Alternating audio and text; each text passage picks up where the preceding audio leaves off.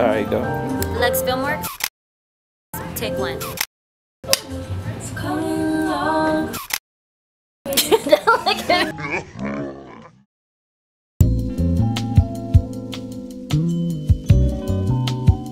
Cool. Take four. Hey, what's up, everybody? You here with uh, Luxe Film Works, and I'm here with actor, model uh, Kelly Burks, and we're on the set of Watercolors, man. Uh, what's up, baby? How up, about your boy? He scared of me? I ain't gonna bite you now. Come on. no, no, but on the cool, on the strength, man. How you like working with Luxe uh, uh, production on Watercolors? Man, definitely enjoyed the uh, the experience of working with uh, Luxe. Um, the the whole synopsis of the movie itself was just impeccable. Uh, great job on the writing. Appreciate and, that, uh, bro. You know, y'all just made the experience just great. Roy behind the camera, behind the scenes stuff. You know, just just really enjoyable, really fun.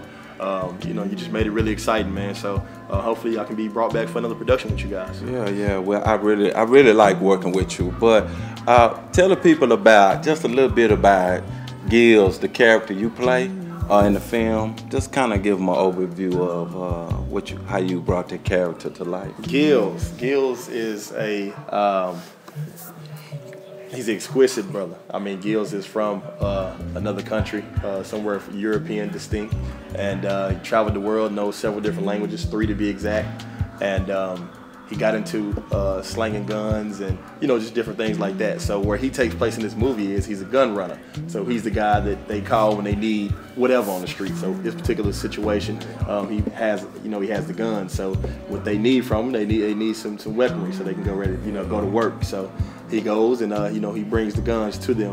Um, you know, amongst some other things, and he has a relationship uh, with the young lady that's in the play as well. So um, his character's really deep. You know, y'all kind of opened it up a little bit in this in this in this short. It's basically just a get money cat, uh, street cat. I thought when I was uh, writing uh, uh, Gills into uh, existence, I thought he was gonna be this certain type of cat. But then when I ran across you and looked at your photos and thought that uh, you was gonna bring the character to life. But shit, man, it's cool. Good looking I Hope you can work on the next one with us. And uh, you tuned in to Luxe TV. Stay down.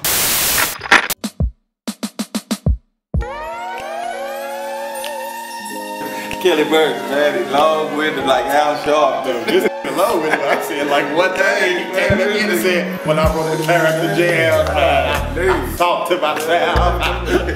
Got to the picture. Keep hope alive. Keep it Jesse. Obama.